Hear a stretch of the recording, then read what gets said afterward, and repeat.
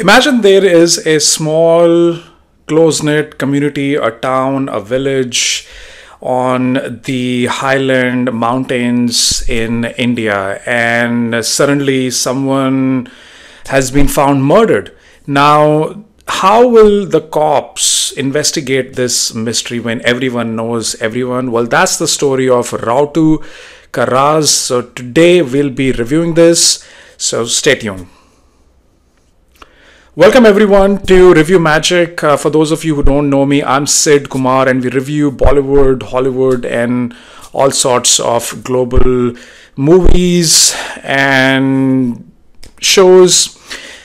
Now let's get into the plot of Rautu Ka Raaz. Now this is a movie that just came out in 2024. Rautu is a small village in the state of Uttarakhand in India. So, you know, that small that, you know, it's close knit, everyone knows everyone.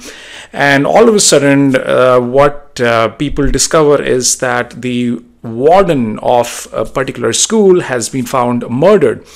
So, the lead investigator now is getting into his act and he wants to solve this high profile investigation and ultimately there are some dark secrets that he uncovers as the team is uh, you know uncovering the truth. So that is the story of Rautu Ka Raaz and now we're going to get into the review and analysis of this particular movie. So the trailer and the title certainly was intriguing to me. You know, every time I have to watch a movie, I'll watch the trailer, and that's when I will decide whether I want to watch this movie or not. So, you see a lot of movies like these that come out in Bollywood. You know, they like whether it's in the in the town of you know Shimla in the state of Himachal Pradesh or this one in the state of Uttarakhand. You know, these kind of movies uh, tend to look very simple and innocent from the outside but as you start to uncover all the layers you know you're going to find uh, there is a dark mystery that is lurking so it makes it very interesting so the trailer was promising and you know i said all right i gotta watch Rautu Ka Raaz. As I mentioned, Rautu is this small town in, in the state of Uttarakhand, and that's where this murder happens. And Rautu Ka Raaz is, means the mystery of Rautu my analysis, uh, I certainly will say that this is an interesting dark thriller, and why that is because you know when when certain crime happens in a small community, you always question yourself like how did this happen? I mean, people are so innocent that live in these communities you know they're not living in uh, larger metropolitan areas like delhi mumbai hyderabad or something like that so general feeling is that you know people are happy they are content and in the midst of all this you know a murder happens so it kind of you know it's it's surprising and and the news spreads like fire. So that's that's the initial scene of the movie. Now the the initial scene is where you see that a lady is trying to cajole a small boy, and then all of a sudden Nawazuddin Siddiqui, who's the main protagonist here he goes by inspector negi you know he gets a call from his colleague and he, and you know he say there's a murder that has happened and then nawazuddin siddiqui gets, gets out of his bed he gets out of his room and he stares at the mountains. So that is one scene that I thought was a bit confusing to me because I didn't understand what was the opening scene, what is the message behind it, and why were they showing it. And then Nawazuddin Siddiqui, when he wakes up, of course, he wants to now come to the crime scene, but he, he goes there, there is a temple, and you know they're trying to show that after a certain event there is kind of trashy stuff left behind. And then of course he looks at the mountains. Beautiful scenery but i still don't get the gist of what is going on. I mean certainly there are some elements that are connected to his past that are bothering him. Uh, i get that and but it's just kind of fuzzy it's unclear as to what is exactly is happening you know you you see some threads connecting to his life, but you just kind of leave it and move on. Now, as Nawazuddin Siddiqui, played by Inspector Deepak Negi, you know, when he gets a call from Rajesh Kumar, who's the other actor, supporting actor in this movie, he goes by the name Naresh Dimri. So they reach the crime scene, but Naresh, Rajesh has reached the crime scene with his deputies before, and then they start to look at the crime scene. Now, what you see here is, you know, this hodgepodge effort, the casualness that you will see. And I thought that this was something that uh, was unexpected. I mean, clearly this is a small town. I get it, but there are other movies also you see, and Indian cinema has you know caught up to the global standards. At least you know getting copies of ideas and so on, and you know you see a very lackluster casual approach. Body is moved, gloves are not worn, and why would you want to show this kind of an approach? You know, it just baffles me. Yeah? I mean, do your investigation properly, at least till the point where the lead inspector is going to come and he's going to give his input to you. But it just seems like the team doesn't act professionally. You know they're not collaborating their mistakes. They've touched the body here and there and they're now trying to rectify their mistakes which i thought was such a big blunder especially getting into this movie. There is a fabric that has to be kept tight. And this kind of movie lacks that. I mean there are a lot of thrillers that you see around.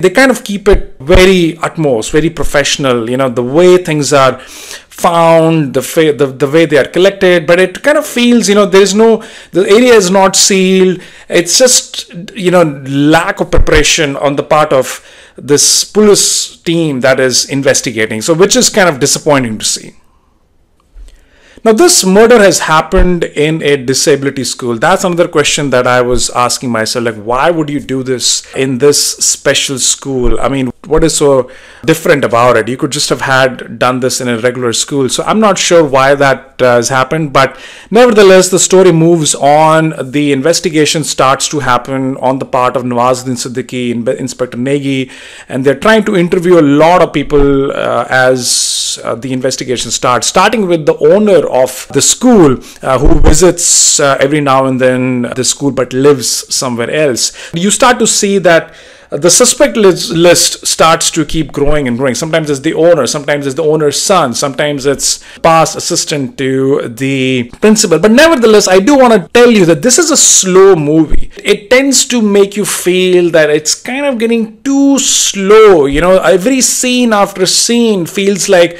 maybe this scene was not required. Maybe they could have added some pace to it. But it just has, it just takes more time than audience would want to watch in a thriller movie. But there are some really good scenes also. You know, they kind of mix the crime scenes with, you know, the mountain scenery, the nature, it's picturesque. You know, you see the police station, you kind of see the main ring roads, you see the. So it's kind of blend in with that. And I think that is one thing that kind of complements overall the nature of the investigation that is happening in Rautu Ka Raaz. There's also one thing very interesting in this thing. You know, they show that very early that the parents of in- Inspector Negi they come, they tell him that he doesn't come and visit uh, them, and I'm still baffled to understand like why he doesn't visit them as to what is the past or the history with his former wife or someone that and the acting on their part looks a bit uh, awkward on his parents uh, parents side. And um, you know sometimes you look in the movie i feel like there were way too many characters that you feel are unnecessary. I talked about the assistant the current assistant of the principal. Uh, you know he's given some tasks to you know get some intelligence. The guy for some reason um, I just felt was not needed. There are just some people that are just when you when you see the movie, you are going to understand what I'm talking about. And also at one hour fifty four minutes, to seems like it's a it's a pretty long movie. You know, you start and you know by the time the ending happens you start to feel can this movie come to a closure? So it gets stretched it gets a little boring. And you know i remember growing up you know i used to watch some pankaj kapoor the legendary veteran actor you know his his uh, thriller movies that were based in uh, hilly stations. And this, this was just an hour long shows that he would do. His style his personality was very assertive, you know, and there is no bullshit in his you know, story, plot, the way he's uncovering. But this wasn't the case in this. I had a lot of hopes and expectations from Nawazuddin Siddiqui uh, with the screenplay, which at sometimes has some good dialogues, but overall it just feels like the lacklusterness, the casualness. He's not getting the support from his team, or he's just trying to show it's a one man thing, and that's where things kind of, you know, take off for Ka Raaz. It could have been a much more, you know, interesting and, you know, hardcore crime thriller movie. I mean, someone has died and someone needs justice for that. But it's a very too it's too long movie to just look into too many moving parts, someone's relationship, someone unnecessary characters. The scenes are sometimes too long. That's where the flavor of Rautu Ka Raaz is also lost, in my opinion. And then you see in the midst of all this, you know, there's there are ministers, politicians, corruption is involved. There are big people who are trying to grab the land of the school and speculations are that because of that this girl uh, this warden may have been killed. It almost feels like you know everyone no one gives a damn about someone's death. You know life just moves on way too quickly which is which seems very unlikely in a small town. People are not grieving. The warden doesn't have any parents or family. She's orphaned now. And it's just something that some characters like i mentioned previously they're more focused on just trying to uh, you know get some spotlight but they don't have to be there. So it's a kind of a you know a movie that it doesn't feel like this this movie had its you know great spontaneity or you know it had the elements of a thriller that could keep you glued for too long. People could almost stop watching in the middle i'm pretty sure but i i saw the entire movie. But there is one last thing that i want to say in my review and analysis section is that the ending is something that you have to wait to watch what it is because i'm not giving any spoiler alerts and that is the key element that will define the to Ka Raaz. But overall guys uh, i thought it is a average kind of a movie in my opinion. I had a lot of hopes given that there were a lot of you know seasoned actors in this movie but that's where i leave with the analysis all right, so let's talk about direction now. Because the the review and the analysis was kind of mediocre, the direction, of course, is also choppy. It's mediocre. Uh, I think the director wanted to say something, but he's saying too many things. We are different people, and uh, there is that surprise element at the end, but it doesn't come up with a loud bang. You know, it just is very subdued. Like, okay, this happened. Let's let's move on now. So it is a good story, but I feel that that pace was missing in Rautu Ka Raaz. You know, the director, he could have added a bit more intensity, uh, some live action, chasing people, you know, better drone footages, you know, kind of, even when he does catch some suspects, it's more like comical stuff that has happened. So I think the movie is leading more towards a dark comedy. That also doesn't give, that does, I don't think that applies to it. It's trying to move towards in between comedy comedy and you know a murder mystery thriller but it doesn't kind of find its sweet spot here. So the onus is on the director and i don't think he did very laser focused job in trying to make sure like what kind of movie my audience wants to see. So Aranyak that's a show on on netflix that is kind of similar to this but that has great components of you know being a good thriller so I, I think he also should have got more out of his actors you know there were some really good uh, actors in this movie. Not too many, but there were very few, and he could have got something more out of Nawazuddin Siddiqui from Rajesh Kumar, but that doesn't happen. So I'm kind of disappointing in the way the direction unfolded.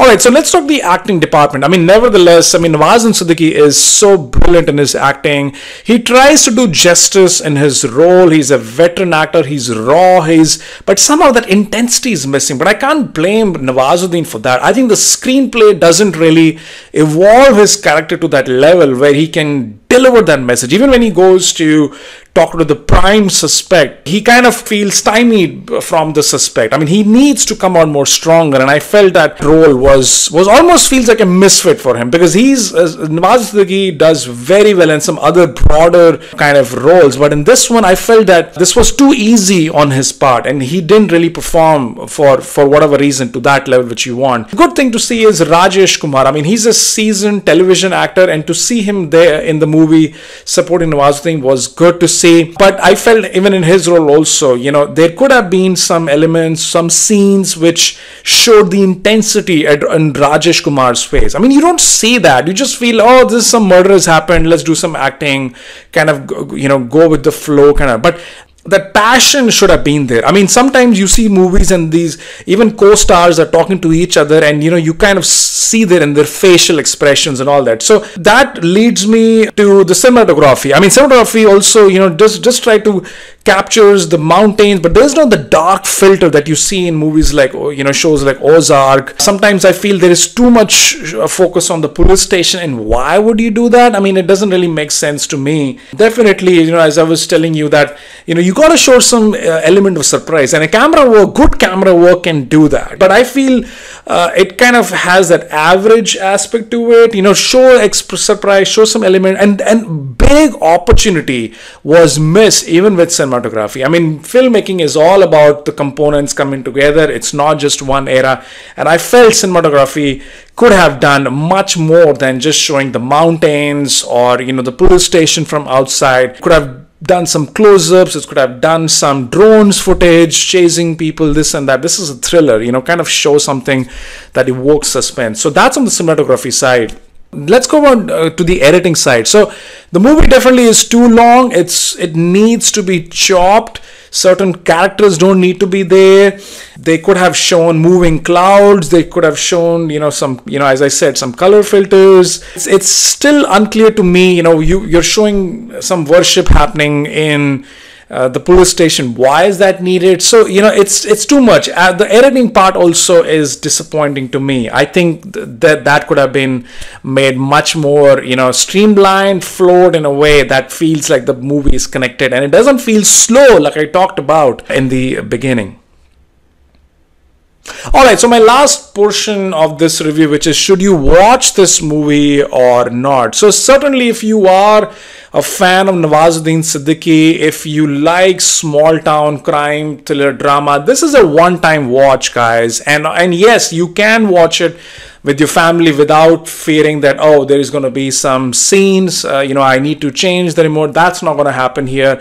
But yes the movie doesn't give that impact that would be required from fans that love thrillers and also you know nawazuddin siddiqui. But it definitely doesn't have too many frills. There's not too much going on in a small town of you know Uttarakhand. So there's only limited things you will see in the movie. So it kind of feels like all right, you know, if you feel you're in the mood of you know a crime with not too much fluff, you can kind of give it a watch. So I'm gonna give it five out of ten, guys.